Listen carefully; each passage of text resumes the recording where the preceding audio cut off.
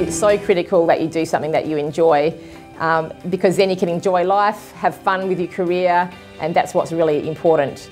I'm Julie Shuttleworth. I'm the General Manager at Fortescue Solomon Mine in the Pilbara of Northwest Western Australia. I'm responsible for the 1,750 people and managing a budget of $1 billion each year. So I really loved science at high school. I loved everything from geology to chemistry to astronomy. I loved rocks and the landscapes, big trucks, and I wanted to do something that combined all of that. But it wasn't until I'd actually spent one year at university and spent the university holidays on a mine site working where I actually realised I love this, it's in my blood, I really want to work in the mining industry. So we produce approximately 170 million tonnes of iron ore per year at three different hubs in the Pilbara and we rail that to Port Hedland and ship it overseas for steel making.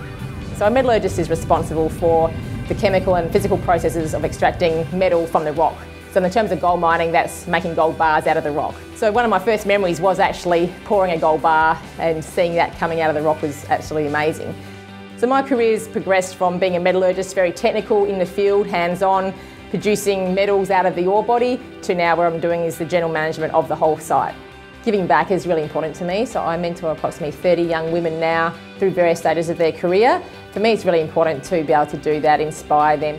I've had a great career, a lot of fun at the same time, a lot of help. I ended up working in Africa, in Tanzania, in East Africa for 10 years and my career journey there went from being a metallurgist to a senior metallurgist to a process superintendent to then be a process plant manager at the age of 30. In Africa I was able to contribute back to the community. We built schools, water wells, electrical and um, water and power infrastructure for the local communities and we really helped with the education there.